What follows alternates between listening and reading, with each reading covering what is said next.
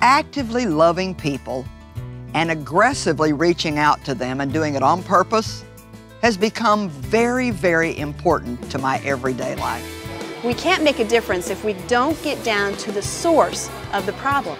We can do something to help the desperately needing people of the world. I want to reach people. I want to meet their needs. I want to give them hope. Success is not measured by the amount of people that are underneath you.